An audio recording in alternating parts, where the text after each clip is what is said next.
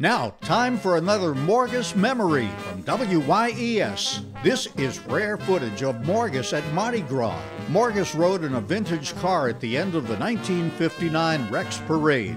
This was just a month after his show premiered on WWL. He rode with Anna May and Willie Maylie, owners of Maylie's Restaurant on Poydras Street. I'm Bob Walker. Stay tuned for more Morgus Memories coming up.